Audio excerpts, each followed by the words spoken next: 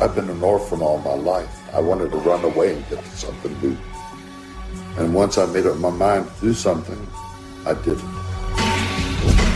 I have never regretted coming to the Democratic People's Republic of Korea.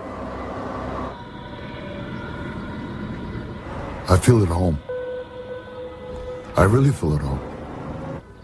I'm just a regular soldier.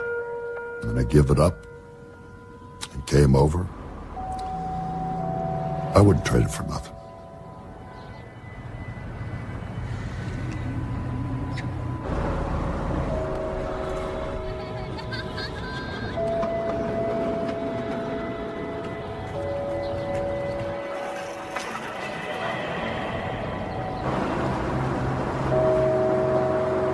Please hit like, subscribe, and be sure to check out historically.net.